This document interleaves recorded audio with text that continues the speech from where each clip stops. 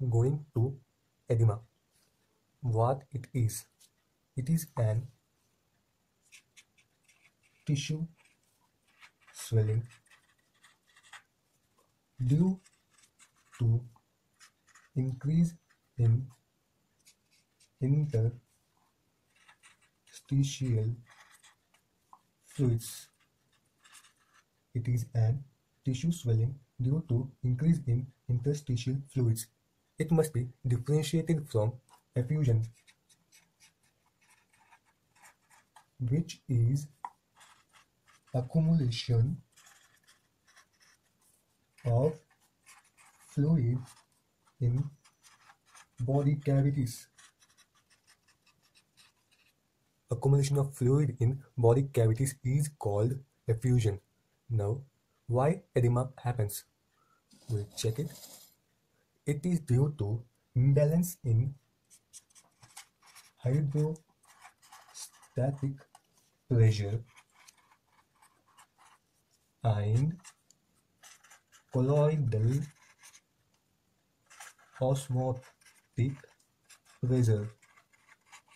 It is due to imbalance in hydrostatic pressure and colloidal osmotic pressure within the blood vessels. Both of these are called Starling's forces.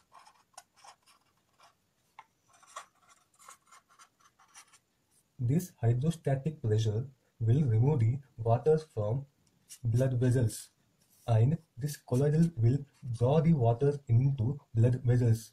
When there is imbalance between these two, it causes edema. Now going to different types of fluid in edema.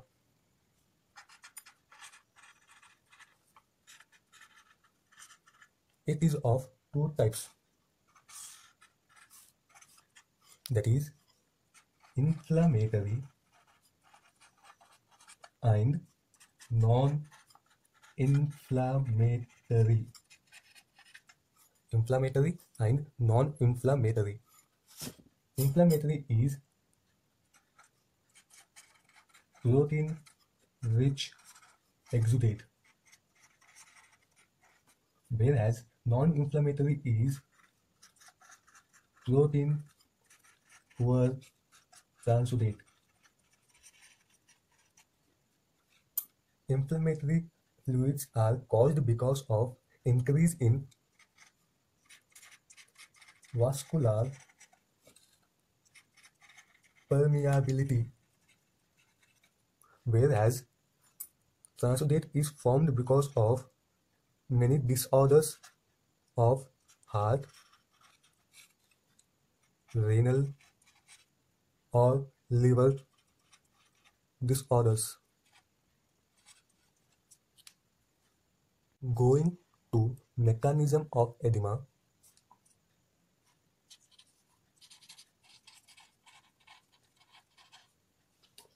in heart failure there may be increased capillary hydrostatic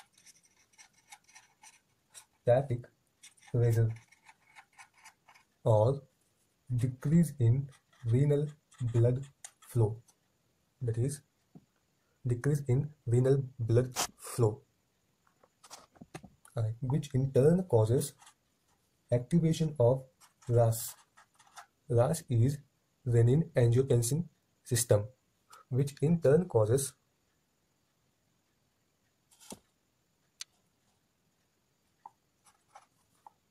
retention of sodium and water molecules causing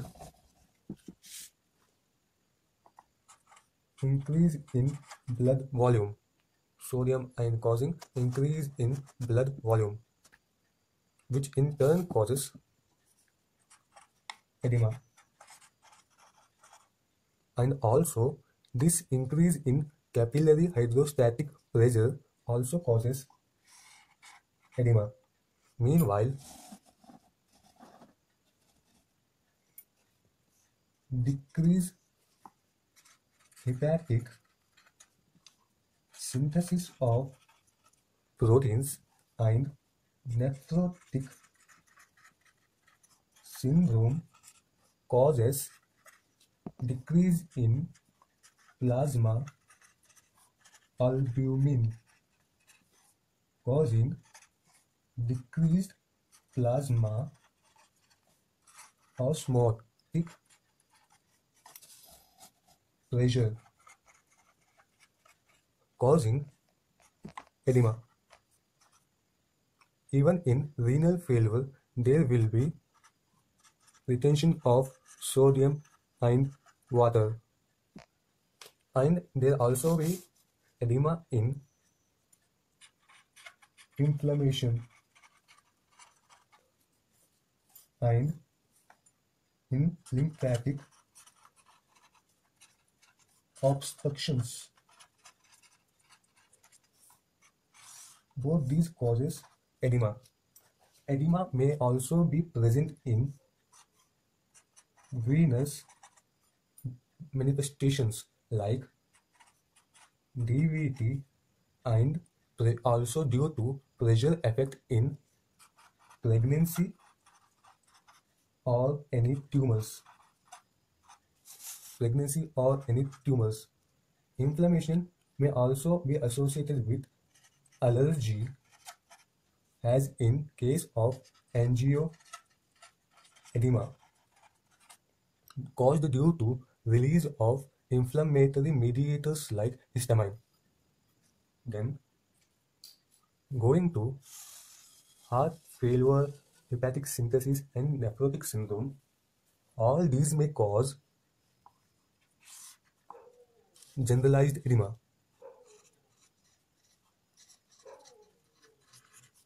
All these may cause generalized edema. Whereas inflammation, venous manifestations, and lymphatic obstruction may cause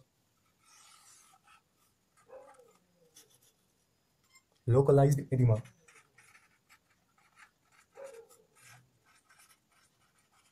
Then, going to clinical features to be seen in edema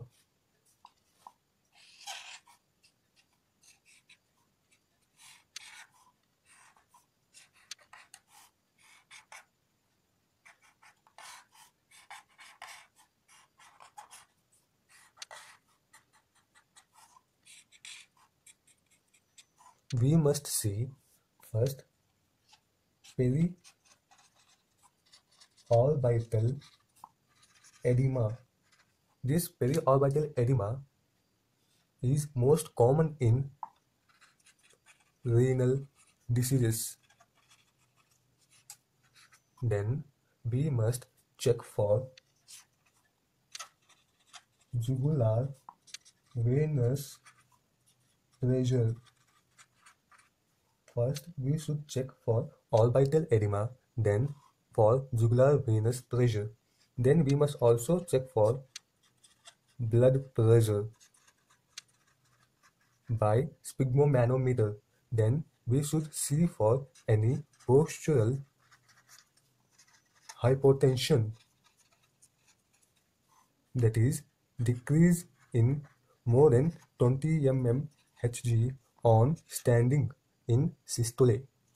Then we should also see for skin turgor that is the state of hydration of the skin by pinching the skin over the abdomen and leaving it and see for its springiness that is elasticity of the skin.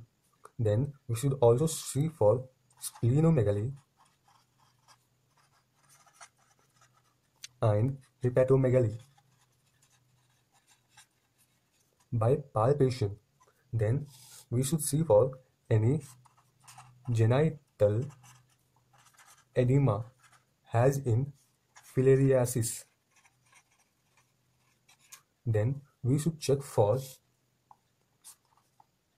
ankle edema. It may be pitting or non-pitting pitting and non-pitting. This can be performed by pressing the thumb or index finger over the ankle or any bony prominence for 15 seconds. Then, on leaving the pressure, there will be imprintation forming the pit. If the pit is formed, it is called pitting edema. If not, it's called non-pitting edema. Then we should also check for sacral edema in bed-bound patients. Then how to differentiate the causes of these edema.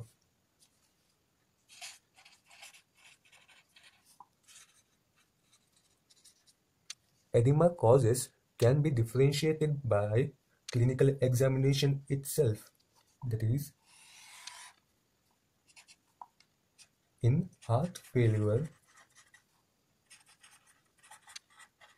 see pitting edema and we also see increase in JVP that is jugular venous pressure.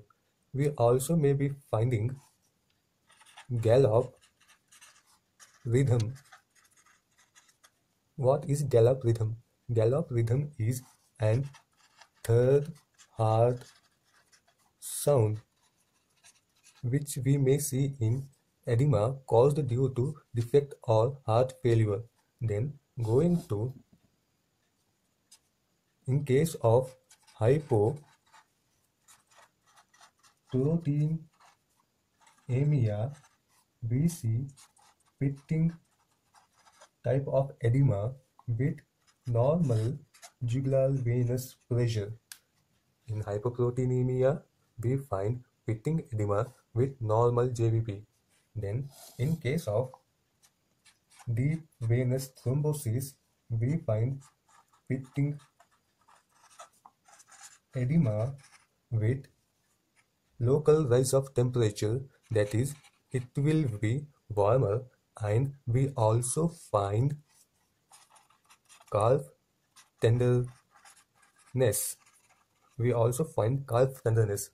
Then in case of lymphedema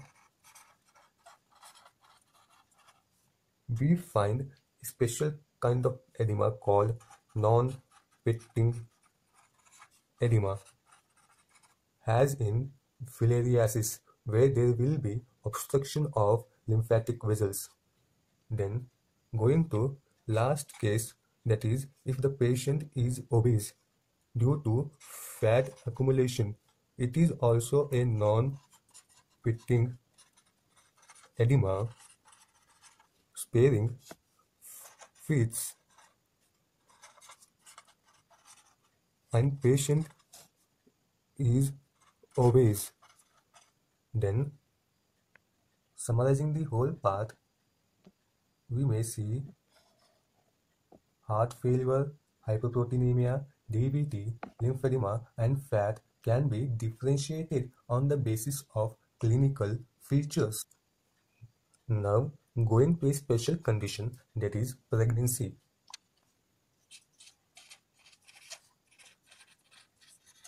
During pregnancy, we find pedal edema. Most of the times this pedal edema may be physiological or sometimes may be pathological.